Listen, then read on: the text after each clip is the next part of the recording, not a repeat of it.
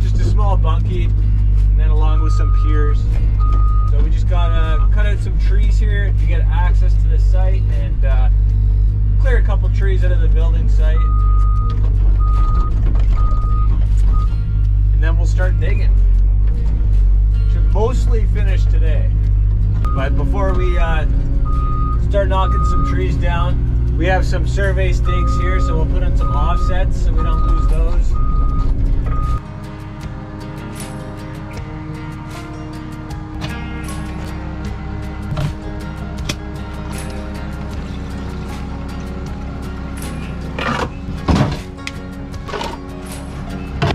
Makes sense to move the kayaks and before we drop a tree, right? Now hopefully it's not frozen. Doesn't look to be. And hopefully our little strap doesn't break.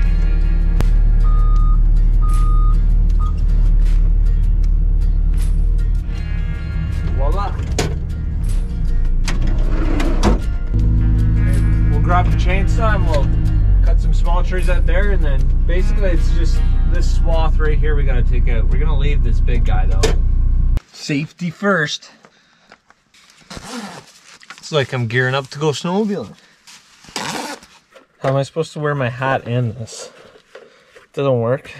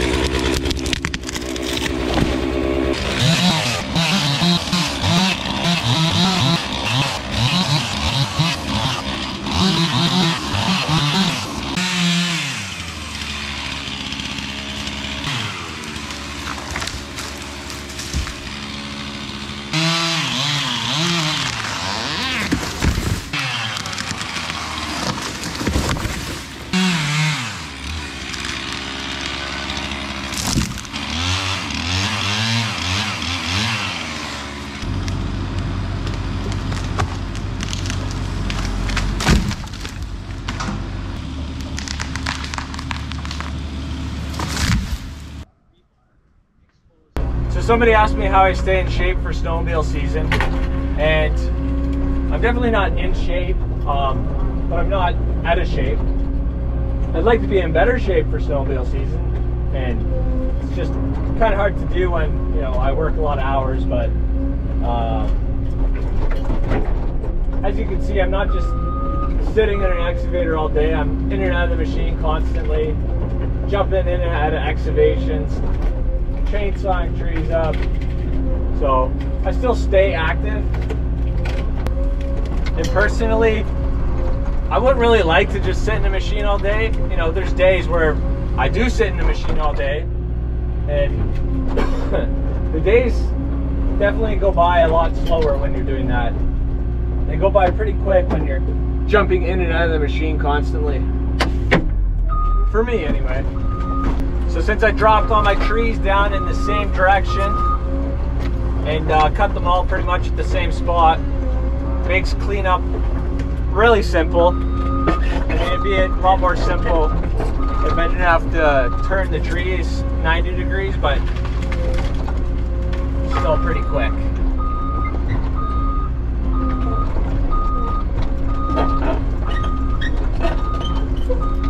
And unfortunately, I don't think we have any trucks available today. So I'm just gonna stockpile the brush right here until I get a truck. Work hard, get dough. I can't get no sleep, make my life more simple. Miles inside these shoes, so I don't stomp, tiptoe. Fell a thousand times, and still I roll no limp though. But I wouldn't trade a thing for what I.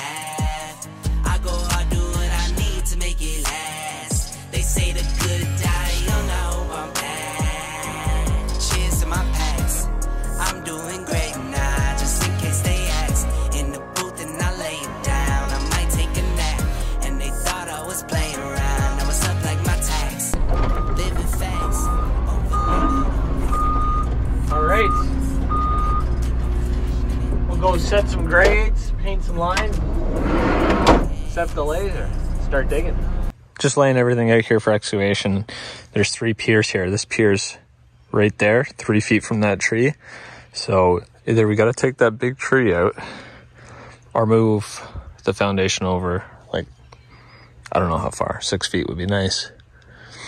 Helical piles would be good. The customer's on the phone right now, so I'm going to dig the drainage line for the foundation out to daylight here by the lake.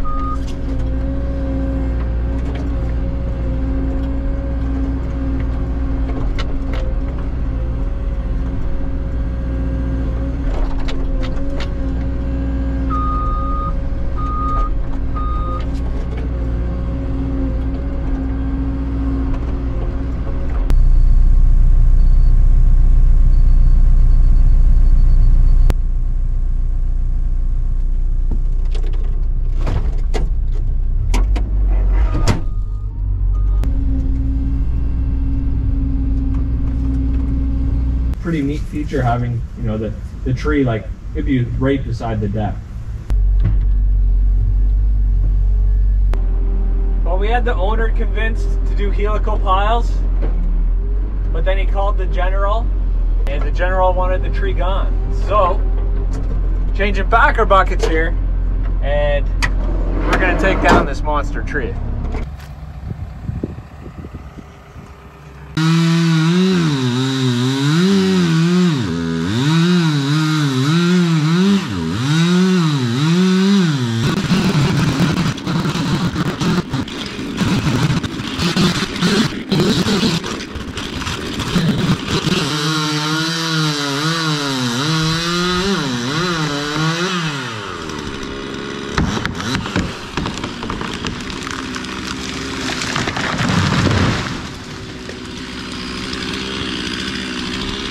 It's always a shame to cut a big tree down like this, but you could see lots of it's rotten already.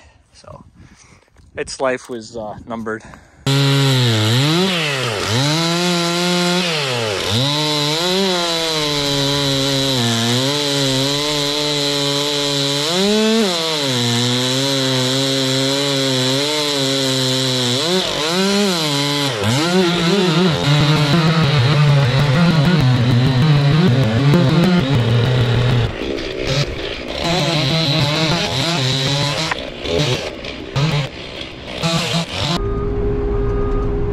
One tree alone is gonna double the size of our brush pile.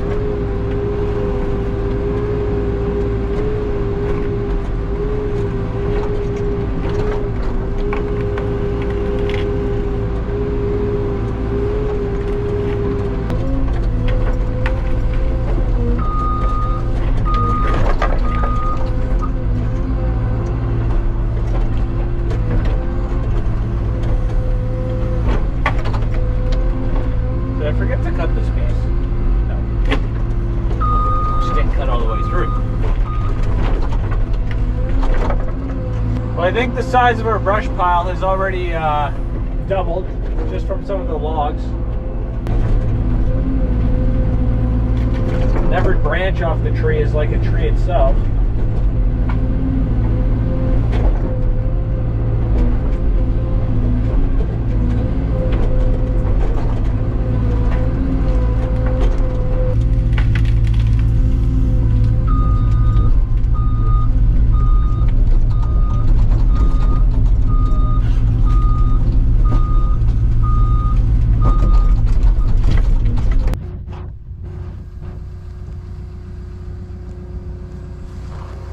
Right, now we get to pull this friggin' thing.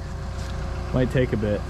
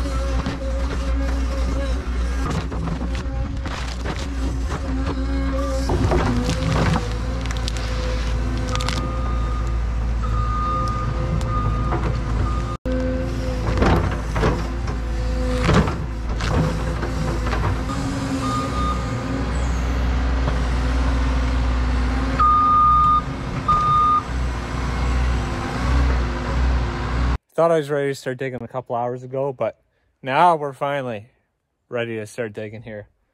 But I have to go to town and pick up one of our dump trucks since no one else is available. So I don't really know if we'll even break ground today. We'll see what time we get back. Fresh. There's, there's no pedal. How do I work? There's no shifter. I actually don't know how to drive this truck. It's so weird driving an automatic truck. Because I'd like to rest my hand on the gear shifter, because that's what I do in my truck, a dump truck. But uh, I'll be honest, I actually took my drive test in an automatic truck. I think that's at least five years ago now. I got my truck license just before the new laws came into effect in Ontario, where you have to now take a five week mandatory training course. So I've got my AZ, is what we call it here. Good morning. Day two here on this new foundation excavation. I've, uh, you know, when it comes to snowmobiling, I got my GoPro angles right all the time. But uh, for the excavator, not so much seem to always have it in that bad spot. But I think maybe we got it figured out now. Wow. It is gonna be wet in here.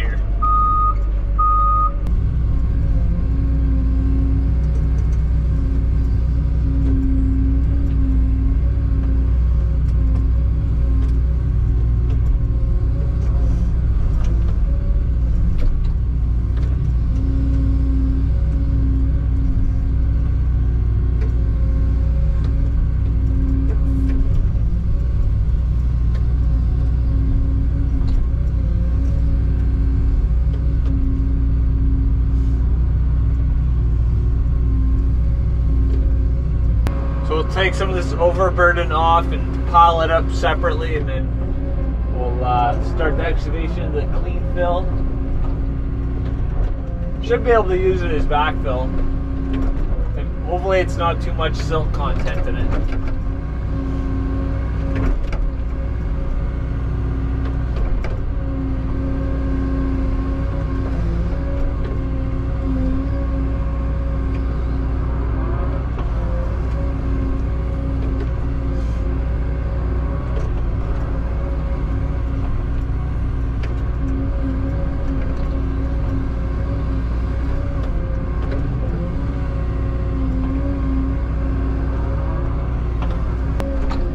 Into our nice sand here now, but it might be clay farther down. So if it is, we'll just strip off the sand and keep it separate from the clay. So then we can actually backfill with our material.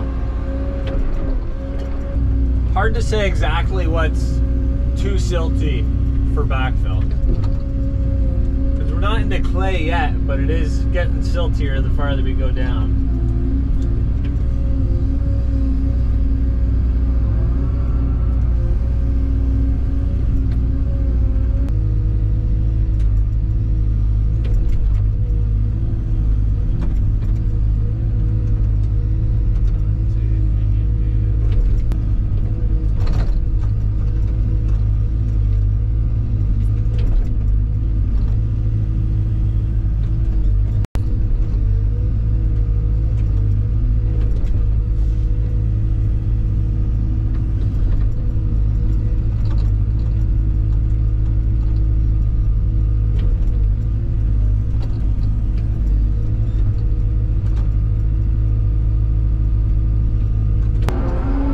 Different digging from our last job the other day. Went from hard pan pit run to silt with absolutely zero rocks.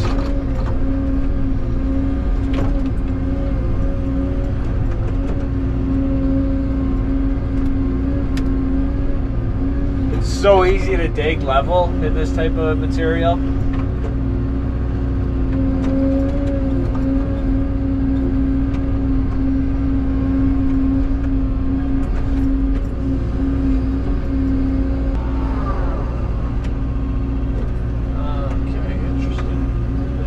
Drainage pipe over here.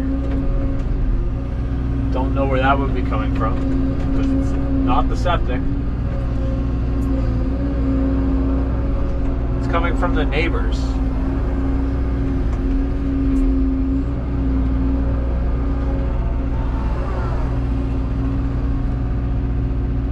It's clean water. That's really weird.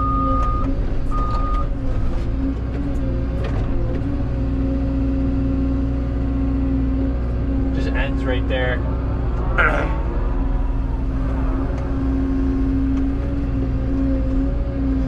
you never know what you're gonna find in here because this is all just old farmland.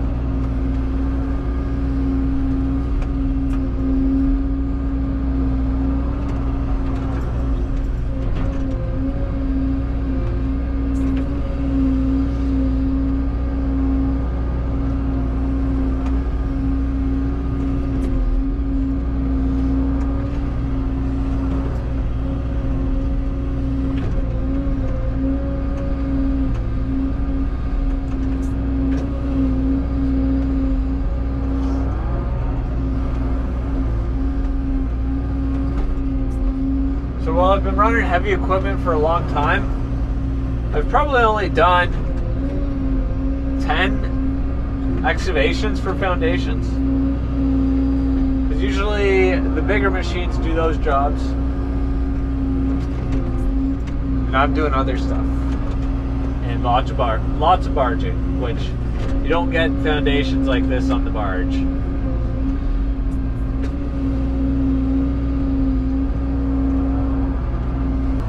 Just set up the GoPro for a time lapse. Should have set it up right from the start. It's cool to see a, a hole. I don't know, a hole be dug. I guess that sounds boring when you put it like that. But time lapses are always cool when you're doing stuff like this. Any construction, I guess.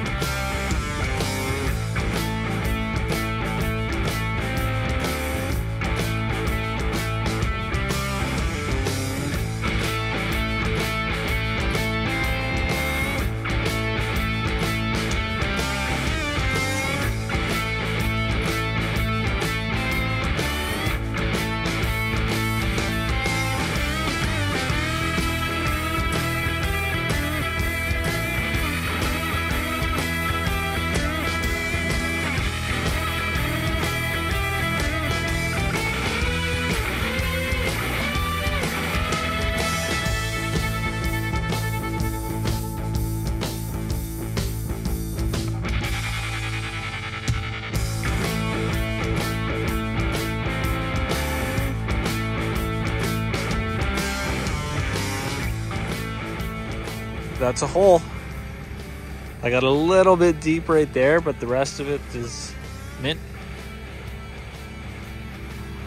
Got a little muddy too.